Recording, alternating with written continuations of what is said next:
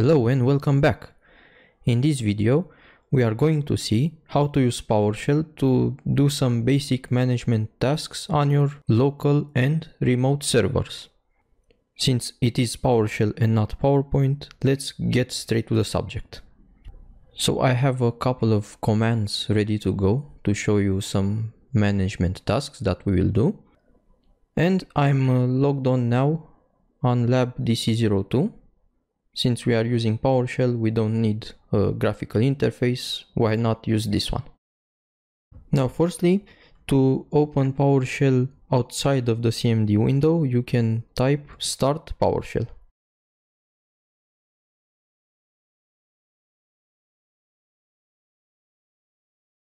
And now we have a PowerShell window ready to go.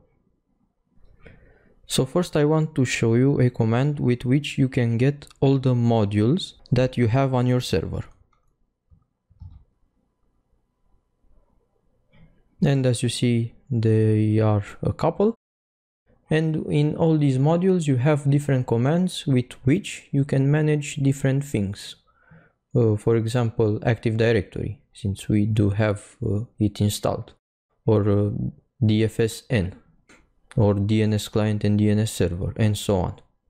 Of course, we will not have time to go into each of these modules with uh, all of the commands that they have, but I want to show you some basic things that we did in the server manager video and that we can do also from PowerShell. And since uh, we are talking about server manager, I want to show you the commands that are included in the server manager module. And the most important ones are install Windows feature and uninstall Windows feature, along of course with get Windows feature. There are also two alias commands, add and remove Windows feature, but I suggest you use the normal commandlets with install and uninstall. So let's see a list of all the features. And this command shows you all features that are installed or available to be installed. And uh, as you can see for example active directory domain services shows with an x and install state is installed. The others uh, above it for example are only available so they could be installed. Dns server is also installed and so on. But it takes a while to go through everything and see what is installed and what isn't. So we use uh, some filters. Now we are going to get only the Windows features that have install state equal to installed. And it's uh, much cleaner now. You can see only what we have on this server. Now if you want to install something, a feature or a role, doesn't matter, we use install windows feature and we give the actual name. And when I say the name, I don't mean this part, I mean this part.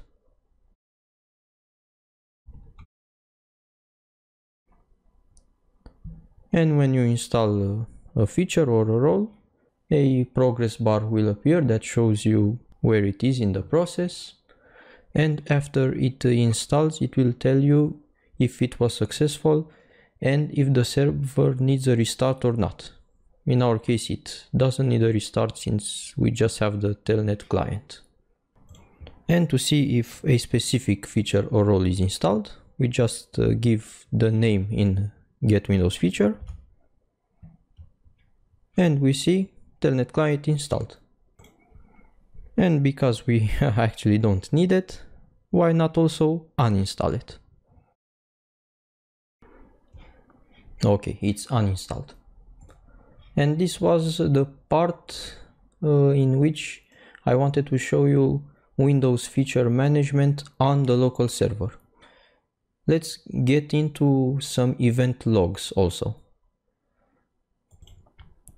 Let's say I want to get all the event logs from system that are of type error. Not that many but you can see in a very small time we managed to filter out all the errors from the system event log. In case maybe you have a lot of uh, errors, but you only need the first ones, the newest ones, you can specify newest and a number. And it will give you the newest free system warnings. It's also possible to specify a text that should be included in the event log message. In my case, I want system events of type warning that contain time service. And one last thing regarding events, you can also get events based on the source.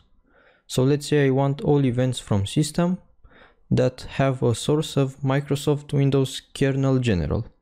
So you can see when the server uh, restarted or shut down or started, etc. And here we are. Now let's move into service management.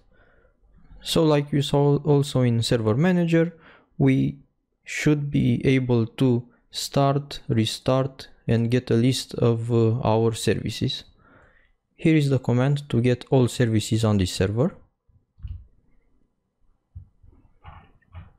And by default it will show you the name, the display name and also the status, running or stopped.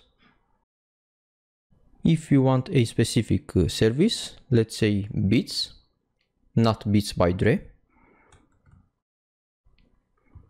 it will show us only this service and it's stopped.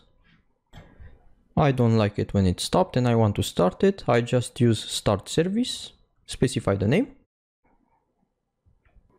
And if I change my mind, I use stop service with the service name.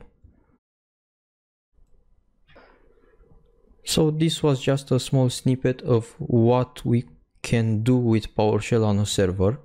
We can do a lot more. There are many more commands, but I just wanted to show you some very, very, very, very basics. Now let's see how we can actually configure something on another system. And we can use PowerShell remoting for that. And we can use two types of PowerShell remoting. The first one is with enter PS session and this is very similar in concept at least to SSH. So when I say enter PS session, I will be at the lab DC01 prompt basically.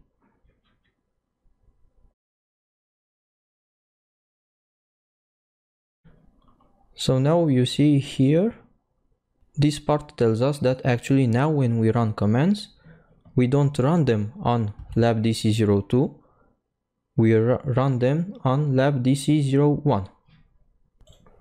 And the host name should uh, show us if it's really true or not.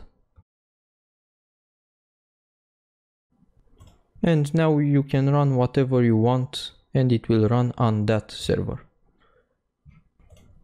We can get the services that are uh, located on this server and we can get, why not, also the features and roles. And to exit this uh, remote session, we just use exit PS session. Now we are back on LabDC02. The second way of using PowerShell remoting, which is uh, much better for actual automation, is with invoke command. Invoke command lets us run a command or a PowerShell script on one or more servers, also with parallelism. So first let's try something simple. I want to get the bits service from uh, LabDC01 and also from LabDC02. In this case I used localhost. We can also get, for example, a, a, list of event logs. Let's say for system, we want to get warnings and only the three newest events. And we have in total six events. three from DC01 and three from our local host. Let's get also into some configuration. I want to install the telnet client on both LabDC01 and LabDC02 and at the same time. So in this moment it's running on both the servers and it's installing the telnet client. And after it's done we should get the response. So it's done on localhost and it should be done shortly also on LabDC01. We have both of them installed and no restart needed. And just to make sure, I will run also invoke command to get the telnet client feature.